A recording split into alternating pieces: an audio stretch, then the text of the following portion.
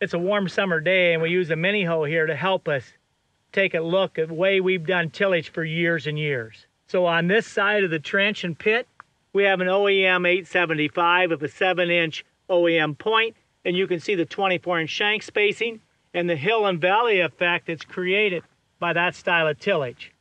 We're back here on this side, we have the 360 bullet, and what a difference and what a story the roots are about to tell us.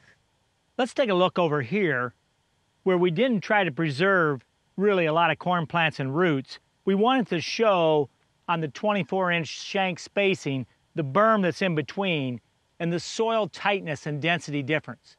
So you can see here where the shank ran, you can see the loose soil density and you can pick up, there's quite a few roots that found their way and like that kind of growing conditions versus where they're at here more in the solid. So easy to pick up the seven inch wing at the 11 inch depth. It busted this out. Then we have a lot of solid in here and here in between those points. We've now moved to the side of the pit where the 360 bullet ran on the 875 Ripper last fall. And we didn't try to preserve any roots here on this half. We wanted to show you we're on a 24 inch spacing. So a shank ran here and here. And I like what I see. By design, the bullet was designed to leave it about an inch and a half of soil above the bottom of the point. So if I take my jackknife and put it in here, you can see all this profile is, is very structured. In other words, roots would have no problem growing through that. And we'll take a look at that behind me on the actual corn plant. So once again, we're looking for a full shatter in that 11 to 12 inch zone. And the wings in this case of the bullet did exactly what they were designed to do. In addition to having good structure where the wing ran on the bottom of the floor, we're very interested in having superstructure up here where the plants themselves are putting their root systems. And you can see here my knife coming through here, we have a very soft structure. So not only where the shank itself ran right on this profile, but we've been able to fracture all the way across here. And though it's dry, you can see that this soil was left in very, very good shape. So on the opposite side of this pit wall, we have the standing corn crop here. and We can take a look right at the roots themselves. This corn's at the V8 stage, and it's a corn on corn field. Last fall after harvest, we come in and made a pass with the 875 Ripper, and you can see that we did about a five to six inch with the front gang of disc to manage the residue. It left a tillage layer and we often discuss as farmers, one with another, our belief on tillage. But at the end of the day, the root always tells the true story. In this case, you can see here in these corn plants, these roots are coming out of this crown and they're growing straight across this tillage change. In other words, where the disc gangs went compared to the solid berm in between these 24 inch centers. So you can see right here is where the shank ran and then we have the solid berm. The top of that berm was loose last fall.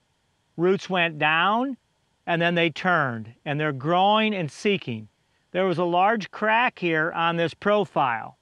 You can see that evidence of that by this root right here. Look how flattened out he is. So this root was growing right down that crack and he's elongated and flattened as he was seeking his way down into moisture. And you can pick up these cracks and you can see the roots right inside that profile. So roots are getting down through the berm, having to work their way and fight to find that crack. You can see that here on these guys. Take a look at this set. Look how they wiggled and twisted and turned. Tremendous horsepower on the way the root's designed to grow. And he hits that disc tillage, and now he's fighting his way. When he hit the actual, then in this case, he hit the shank, the bottom of the point, and he's twisting and working his way through that layer. And you can see it here by the evidence of how twisted up he is. He looks like, you know, almost like a snake in a road. And so this is just talking to us. And it's telling us that yes, we did tillage in here last fall, but it's not ideal, 100% perfect.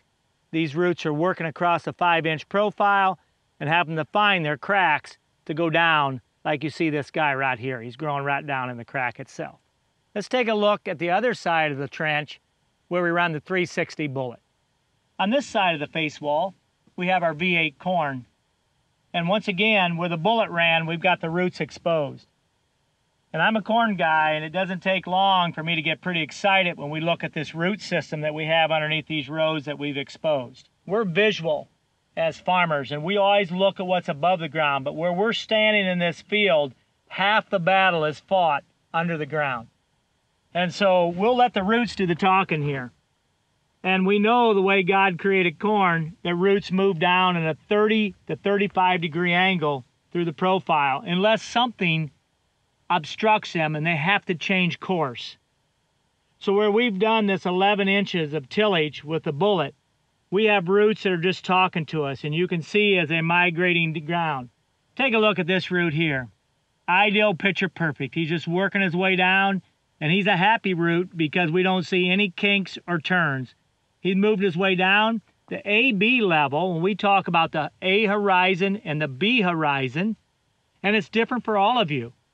In Iowa, I feel so sorry for you. Your A horizon might be 30 inches, the top 30 inches of just prime topsoil. But here in central Illinois, we're about in that 11 to 12 inches. So we try to run our ripper point about an inch below our AB and that boils and mixes that in case the soil density is different in the B horizon versus the top A. We do not want a root to turn and run across the top of that AB line. In this case, we've come right through it, and you can see here, it didn't blimp up or down. It made its transition, and it's working its way down.